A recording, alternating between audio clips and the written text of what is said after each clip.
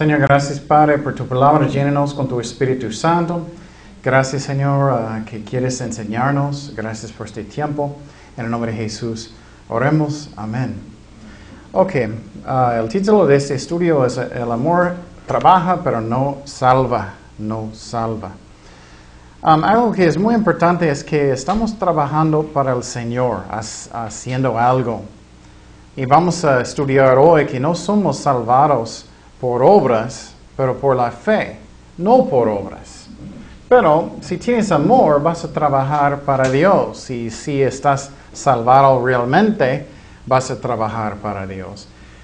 Pero no significa que estás salvado o salvada tampoco. Muchos están en las iglesias hoy en día y no son cristianos verdaderos. Hay muchos falsos hoy en día y uh, no significa nada si estás trabajando. Pero si tienes amor real, vas a trabajar para Dios. Y uh, no solamente eso, si no estás trabajando, nunca vas a crecer en Jesucristo. O si ya paraste de trabajar para Dios, hacer ministerio, vas a enfriar. Es como es. Vas a estar muy aburrido, aburrida. Es como, uh, ¿podemos hacer otra cosa ya? es como es. Pero si estás en la batalla, tú vas a estar como, ay, ay, ay, necesito compartir, necesito enseñar, necesito dar folletos, necesito dar DVDs o lo que sea. Personas están yendo al infierno y, y yo amo a Cristo y yo quiero compartir y quiero servir como puedo. Pero si no estás haciendo nada, está... y la vida va a ser muy aburrido, aburrida. Puedes mirar la vida del apóstol Pablo. Él sufrió mucho, él estaba viajando mucho, compartiendo mucho. ¿Tú crees que él tenía una vida que era aburrida? aburrida? No creo. Él era, ay, ay, ay, eh, ellos están atacándome, eso, y eso, eso. Pero personas que no están haciendo nada son aburridos. Ay, que está en el tele, que no hay nada que me gusta, que está en el cine, o, o, eso, ¿qué hacemos? Estoy aburrido oh, ya vamos a la iglesia, oh, este café no es tan bueno. es como es. Pero si estás sirviendo a Dios y quieres estudiar más, pero, por ejemplo, si los testigos de Jehová vienen y, ay, no podía contestarlos y necesito estudiar, necesito ponerme más y, y quiero hacer las cosas bien, es como es. Pero si no estás haciendo nada, su fe va a ser menos y menos y menos, más y más frío, es como es. Es como es. Y muchos hoy en día no están haciendo nada. Nada. Es como... Para mí, yo no puedo ser así. Sí, es la verdad, es muy aburrido. Y buscando cosas en el mundo para llenar su corazón no sirve, no sirve. Yo estaba en el mundo mucho tiempo y cristianos todavía están buscando cosas en el mundo, no entiendo música del mundo y eso, está completamente vacío. Y a veces Dios permite en personas estar en el mundo mucho hasta que finalmente ellos son, ay, no quiero eso, ya no, ya no quiero, enfadé, no tiene nada. Pero qué diferencia cuando estás sirviendo a Dios, mirando las vidas de personas cambiando, personas aceptando al Señor, personas están arrepintiendo, buscando a Dios cosas que son eternales, no son solamente en esta vida. Dice, vamos a empezar en Hebreos 10, 24. Dice, y considerémonos unos a otros para estimularnos el amor y las buenas obras. Entonces, para un cristiano, para hacer buenas obras es algo que sí es necesario. Pero eso no es como somos salvados. Eso no. No somos salvados por obras, pero por la fe. Pero dice aquí que necesitamos animar otros hermanos de hacer las cosas. Y quiero decir, es muy importante que tomamos pasos de fe. Para mí me gusta mucho tomar pasos de fe para ver lo que Dios va a hacer. Y tienes que hacerlo. Y por ejemplo, Dios abrió la puerta del tele. Yo podía ser tengo miedo o no quiero, o muchos van a verme o, o lo que sea, pero no tomamos este paso de fe y Dios bendice. Muchos están mirándolo. Entonces, Dios va a abrir puertas, pero estás tomando pasos tú. O algunos están esperando toda la vida. Estoy esperando mi ministerio, ya pasó 10 años. Estoy esperando lo que Dios quiere. Claro, necesitamos esperar en el Señor, pero esperar en el Señor es algo que no es pasivo, pero es activo. Necesitas orar. ¿Qué tú quieres, Señor? Y si caminas con Dios, Dios va a poner en su corazón lo que Él quiere.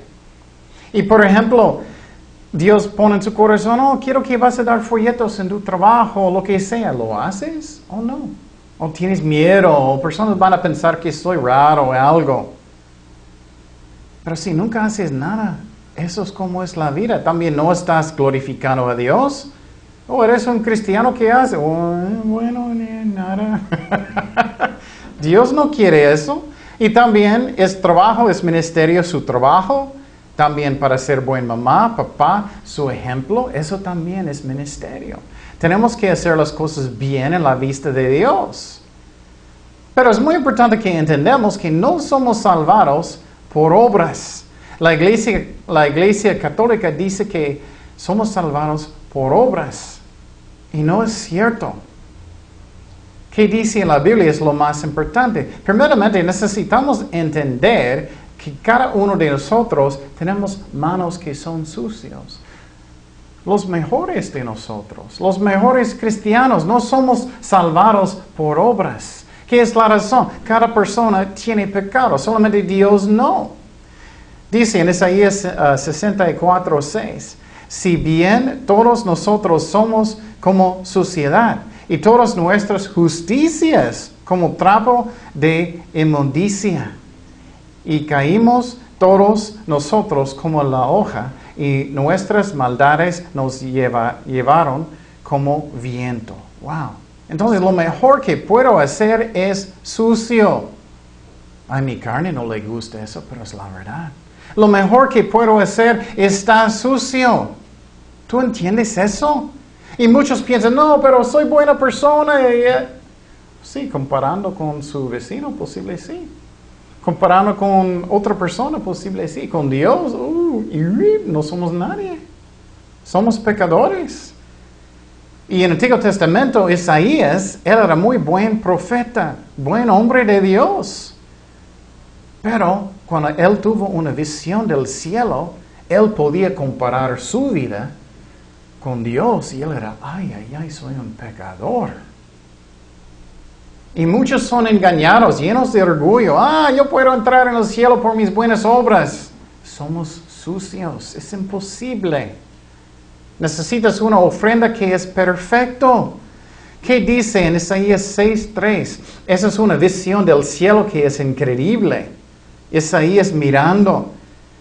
Y mira lo que, en un parte que él dijo que pasó. Y el uno ángel al otro daba voces diciendo, Santo, Santo, Santo, Jehová de los ejércitos. Toda la tierra está llena de su gloria. Y los juiciales de las puertas se estremecieron con la voz del que clama y la casa se llenó de humo. Wow, visión del cielo. Entonces dije, ay de mí, eso sí se es un buen hombre de Dios. Ay de mí, yo soy muerto. Que soy muerto, porque siendo hombre inmundo de labios y habitando en medio del pueblo que tiene labios de inmundos. Has visto mis ojos al rey Jehová de los ejércitos y voló hacia mí uno de los serafines, teniendo en su mano un carbón encendido tomado del altar que unas tenazas. Y tocando con él sobre mi boca, dijo, he aquí que esto tocó tus labios y es quitar tu culpa. Wow, entonces él tenía también pecado y limpió tu pecado. Después oí la voz del Señor que decía, ¿a quién enviaré? ¿A quién irá por vosotros? Entonces respondí yo, heme aquí, envía, envíame a mí, envíame a mí. ¿Tú dices eso? Pero es muy importante que entendemos qué pasó primero. Dios necesitaba que perdonarlo. Él necesitaba que limpiarlo. Y muchos piensan, no, no, yo puedo entrar en el cielo, yo puedo hacer buenas obras para entrar. No, tenemos manos sucios, es imposible. También necesita ser la sangre de Jesucristo. No es por obras, es por fe. No es por obras. Pero principalmente estamos hablando de obras ahora. Tenemos manos sucios, es como es. Es como si tienes manos bien, bien sucios y viene una, una señora con un vestido muy blanca, bonita.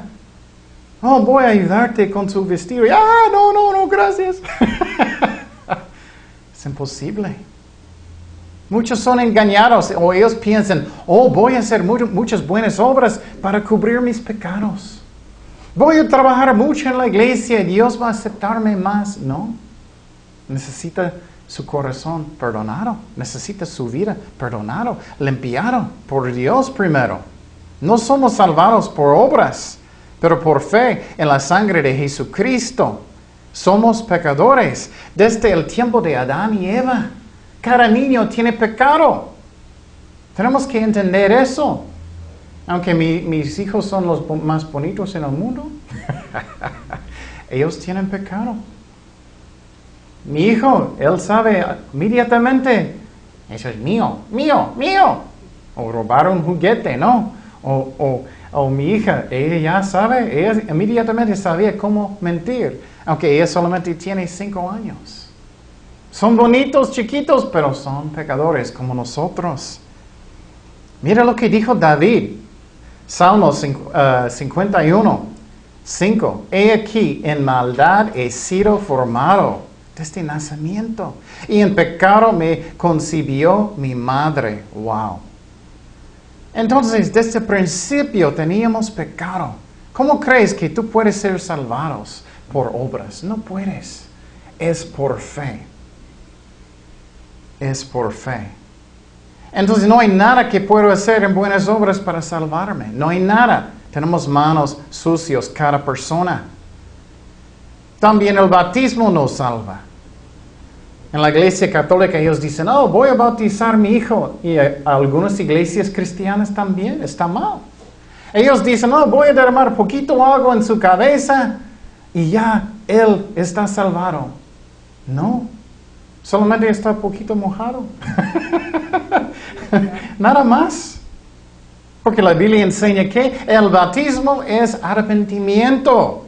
Muestra arrepentimiento. Lo que cambia en mi corazón. Ya voy a dejar las cosas viejas, malas atrás. Estoy muerto con Cristo. Estoy resucitando con Cristo. Simbólico cuando entras en el agua y sales del agua y sales una nueva persona, nueva criatura en Cristo, es algo que estás diciendo a todo el mundo que ya soy un cristiano, ya soy arrepentido. Pero si no arrepentiste del corazón, tú puedes ser bautizado todo el día y no vas a salvarte. Hay muchos son así, ellos todavía están tomando, pero me bauticé. No salva. Es por fe, es por fe, es arrepentimiento verdadero. Pero claro, necesitamos ser bautizados, es un mandamiento de Dios. Pero, bautizar a un bebé no hace nada. Un bebé no puede arrepentir. Un bebé no va a decir, ya no, ya no voy a mentir, no, no pueden hablar. ya no voy a enojar, ya no voy a enojarme, no puede hablar. No está en la Biblia tampoco. ¿Dónde está? Ya no voy a gritar. No, ellos no pueden. No está en la Biblia. Muchas iglesias cristianas hacen eso también, bautizando bebés. Adultos, muchas iglesias están bautizando adultos y ellos nunca arrepentieron.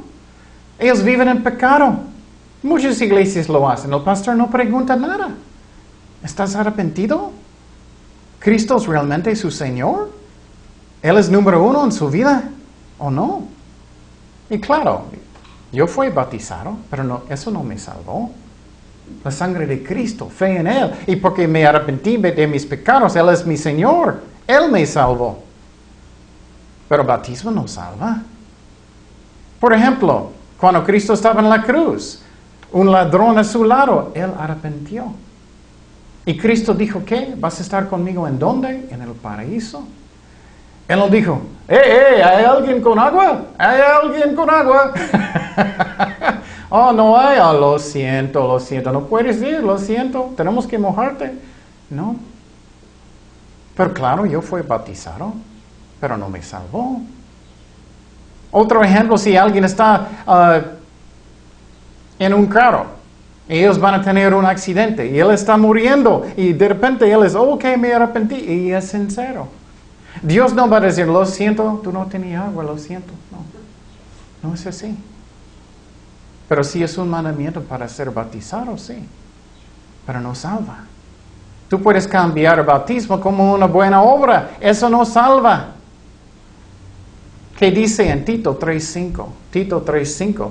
Nos salvó no por obras de justicia que nosotros hubiéramos hecho, sino por su misericordia por el lavamiento de la regeneración y por la renovación en el Espíritu Santo. Entonces, somos salvados por fe, no por mi propia justicia ni por mis buenas obras. Eso no es. Lo que pasó, por ejemplo, en mi testimonio, finalmente decidí, ya voy a arrepentirme. Ya Cristo va a ser mi Señor. Ya Él va a ser número uno en mi vida. Ya no voy a tomar, ya voy a dejar las cosas del mundo. Ya Él es mi jefe. Yo tengo fe que Él murió por mí en la cruz y resucitó de los muertos. Y invité a Cristo en mi corazón y Él me salvó en este instante. Nací de nuevo instantáneamente. Yo era nueva criatura en Cristo, gracias a Dios. Finalmente. Y después de nacer de nuevo, después de ser un cristiano verdadero. ¿Qué?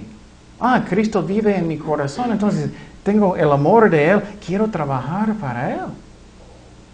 Ya puedo trabajar para Él porque Él, como Isaías, Él tocó mis labios, Él me salvó, Él me limpió con su sangre. Y ya si eres un cristiano verdadero, vas a querer de trabajar para Dios.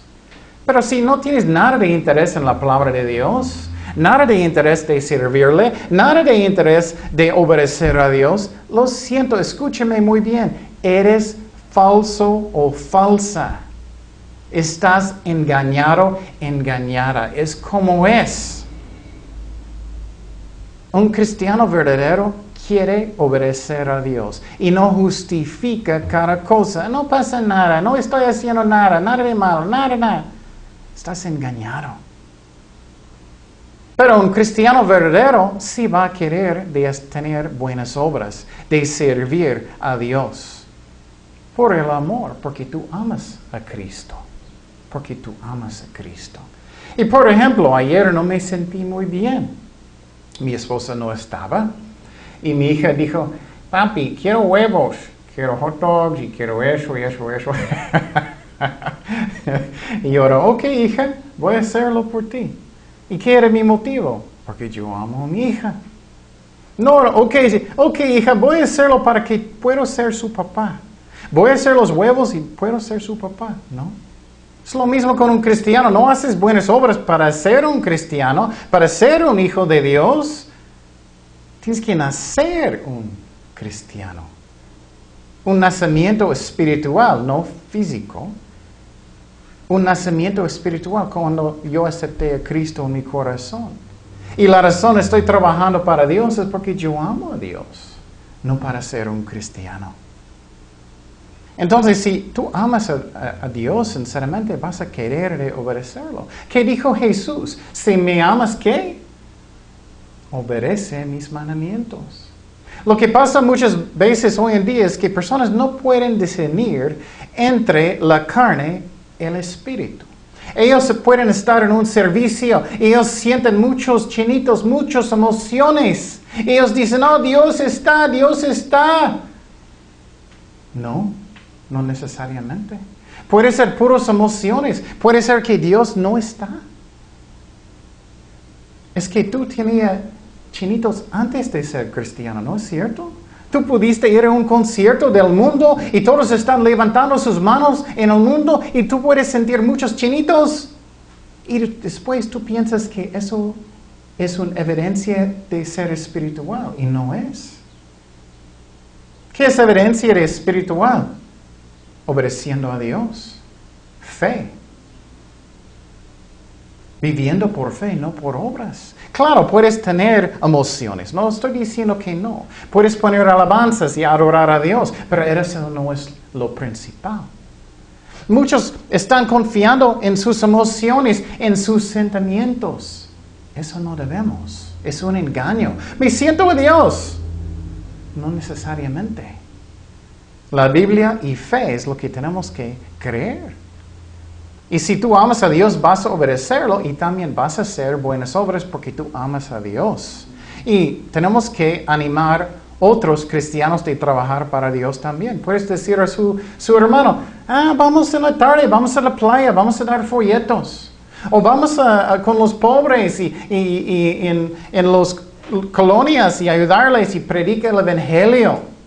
Vamos a hacer algunas cosas para el Señor. Vamos a invitar personas a la iglesia. Vamos al parque y dar folletos, lo que sea, como Dios guía. Eso es el amor de Dios. Y entonces, ¿qué dijo Jesús? También tenemos que glorificar a Dios. Eso no glorifica a Dios si no estamos haciendo cosas para Él.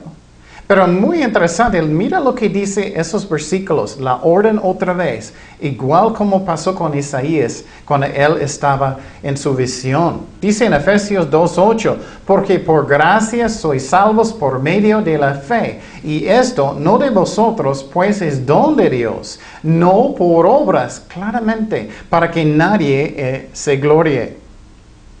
Pero después de nacer de nuevo, después de ser un cristiano verdadero, naciste de nuevo si eres un cristiano verdadero, después, cuando ya estás limpio en la vista de Dios, ¿qué dice? Porque somos hechura suya, creados en Cristo Jesús para qué? Buenas obras, las cuales Dios preparó de antemano para que anduviésemos en ellas. Entonces, eso es lo que necesitamos hacer. Buenas obras y glorifica a Dios, no a mí. Y muchos hacen buenas obras y después yo, ¿sabes lo que hice en la tarde yo? oh, gloria a Dios, pero no es gloria a Dios, estás haciéndolo para ti. Tenemos que tener cuidado de los motivos. Oh, yo estaba tocando uh, el piano y mucho, gloria a Dios, era increíble. Y yo, uh, oh. No, pero estás haciéndolo para ti. Cuidado.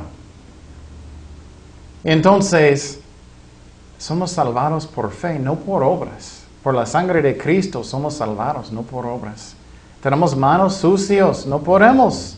Solamente Cristo es perfecto. Solamente Cristo podía cumplir la ley con sus buenas obras y con su sangre. Nosotros no. Eso también es la razón, no existe purgatorio. Cristo era un sacrificio perfecto. Nosotros no somos perfectos. Yo no puedo sufrir por mis propios pecados para entrar en el cielo. No puedo. Es imposible. Y finalmente tenemos que entender, mira los ejemplos en la Biblia de las personas. Puedes imaginar si Abraham nunca hizo buenas obras. Wow. ¿De dónde vienen los judíos entonces? Dios, claro, puede buscar otra persona. Pero, ¿cómo las cosas podían ser diferentes? O puedes imaginar si Cristo no hizo sus obras, no vamos a ser salvados. Pero claro, Él es Dios, eh, Él no puede ser infiel. O puedes imaginar si Pablo nunca era un misionero y si Él nunca hizo sus ministerios. Dios puede buscar otra persona, pero es muy interesante de ver cómo, las cosas son diferentes cuando cristianos son fieles. Eso a mí es algo muy interesante. Tenemos voluntad propia. ¿Cómo diferente va a ser, por ejemplo, el cuerpo de Cristo solamente en Ensenada si todos nosotros somos fieles? Si todos nosotros estamos llenando las iglesias, orando mucho, todos juntos, ¿cómo va a haber la diferencia? Tenemos voluntad propia. Es muy interesante de pensar cómo puede ser diferente las cosas si yo soy fiel yo. En mi propia familia es un ejemplo muy grande. Tú puedes afectar su propia familia muchísimo, ¿no? ¿Cómo puede afectar toda la ciudad si somos fieles? Si no estamos en la carne, si estamos buscando lo que Dios quiere. Es increíble de pensar. Tenemos voluntad propia. Claro, Dios tiene todo poder, pero Él también nos da voluntad propia. Un ejemplo que me gusta mucho es un ejemplo de Eliseo en el Antiguo Testamento. Y quiero que ustedes están pensando mucho en eso. ¿Cómo afecta mi testimonio a otras personas? ¿Cómo afecta mi testimonio a mi familia, a mi trabajo, en, muchas partes? Vamos a mirar este ejemplo de Eliseo que es tan interesante y uh, me gusta. Y tenemos que glorificar a Dios eso es lo que necesitamos hacer. Dice Mateo 5, 16, así alumbre vuestra luz delante de los hombres para que vean vuestras obras, buenas obras, y glorifiquen a vuestro Padre que está en los cielos, no a mí. Pero vamos a mirar este ejemplo de Eliseo que es tan interesante en 2 de Reyes 13, 14. Y quiero que ustedes están pensando en eso. ¿Cómo afecta mi testimonio? Mis buenas obras otras personas, mis hijos, mi esposa, mi esposo, mi familia, la ciudad, el país. Dice, estaba Eliseo enfermo. Mira, él es un profeta fuerte de Dios y él está enfermo. Muchos pastores enseñan falsa doctrina hoy en día que Dios nunca quiere que nadie esté enfermo. No es cierto. Dios sana hoy en día, pero no siempre. Y Eliseo tenía mucha fe, pero él estaba enfermo. Dice, estaba Eliseo enfermo de la enfermedad de que murió. Eso también es muy importante. Usualmente cada cristiano va a morir de una enfermedad, ¿no es cierto? A veces puede ser un accidente en un carro, otra cosa. Entonces, si Dios siempre sana, ¿por qué no hay un cristiano que nunca muera? ¿Por qué no hay? Cada cristiano va a morir un día de algo. Ya no sirve su corazón, ya no sirve su hígado, o tiene cáncer, lo que sea. Las iglesias que enseñan que Dios siempre sana porque no hay uno que vive para siempre. No tiene sentido. Eliseo murió de una enfermedad, un profeta fuerte. Y mira lo que pasó. Y descendió a él Joás, rey de Israel. Y llorando delante de él, dijo, Padre mío, Padre mío, carro de Israel y su gente de a caballo. Entonces el rey de Israel vino con Eliseo. Eliseo otra vez era un hombre fuerte de Dios. ¿Y qué pasó cuando el, rey vino con él? Que es tan interesante. Dice, y le dijo Eliseo, toma un arco y unas saetas.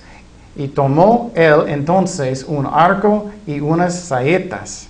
Luego dijo Eliseo al rey de Israel, pon tu mano sobre el arco. Y puso él su mano sobre el arco. Entonces puso Eliseo sus manos sobre las manos del rey y dijo, abre la ventana que da al oriente. Y cuando él la abrió, dijo Eliseo, tira. Y tirando él, dijo Eliseo, saeta de salvación de Jehová y saeta de la salvación contra Siria, porque herirás a los sirios en Afec hasta consumirlos. Qué interesante. Entonces, Eliseo está diciendo al rey, haz algunas cosas que son simbólicos, que vas a tener victoria sobre este país.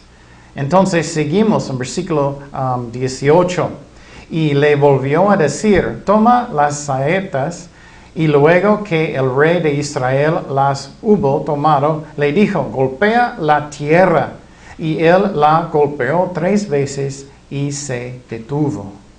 Entonces, lo que yo creo que pasó aquí es el rey está pensando, ¿por qué estoy haciendo esas tonterías? ¿Por qué estoy golpeando la tierra? Y él era dun, dun, dun, y él no tenía mucha fe. Eliseo era un hombre de Dios. Estamos hablando de voluntad propia. Eso a mí es muy, muy interesante. Muchos piensan que no afecta nada lo que hago yo, ¿no es cierto? Él era así, tres veces no fuerte. Dios abrió una puerta muy grande. Él no entró muy fuerte. Él era du, du, du. Muchos de nosotros somos así, ah, voy a hacer un ministerio un poquito, voy a orar un poquito. No lo haces con todo su corazón. Tenemos que hacer todo con todos nuestros corazones para Dios, con todo, con fe. Pero mira cómo él reaccionó, que es tan interesante.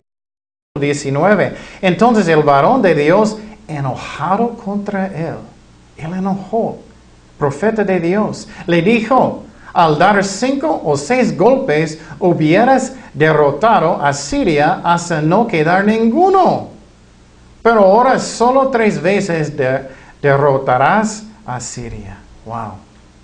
Entonces enojó profeta Eliseo en contra de esta rey porque él no tenía fe, él estaba solamente golpeando la tierra. Pero qué interesante, tú haces eso en su propia vida. Ah, voy a leer la Biblia un poquito, voy a orar un poquito, no con todo mi corazón, voy a servir a, a veces por casi nada, voy a hacer poquito, no importa lo que estoy haciendo, voy a ser mal ejemplo, no afecta a nadie. Qué interesante. ¿Qué dijo Eliseo? Él podía tener muchísima más victoria para todo Israel. Muchísima más. ¿Cómo puede ser el país de México si personas están tomando las cosas en serio? ¿Cómo puede ser mi familia? ¿Cómo puede ser Ensenada? ¿Cómo puede ser todo? Interesante, ¿no? Muchos dicen, ah, Dios es soberano. Sí, Él es. Pero Él nos da voluntad propia. Yo puedo tener una visión, yo puedo tener lo que Dios quiere fuerte en mi vida. Pero mira, muchos van a decir, pero Eliseo no tenía tanto uh, fe. No es cierto. Mira tanta fe, tanto poder que tenía Eliseo. Y murió Eliseo de esa enfermedad. Y lo sepultaron. Entrado el año, vinieron bandas armadas de moabitas de la tierra. Y, aconteció que al sepultar unos a un hombre, súbitamente vieron una banda armada y arrojaron en el cadáver en el sepulcro de Eliseo. Y cuando llegó a tocar el muerto los huesos de Eliseo, revivió. ¡Wow! Solamente este hombre muerto cayó sobre los huesos de Eliseo y Dios le resucitó de los muertos y se levantó sobre sus pies. Y tú dices que él no tenía fe, él no, tenía poder. Claro, él tenía muchísima fe. Muchas veces toma muchísima más fe para confiar en Dios, aunque Dios no va a sanarte.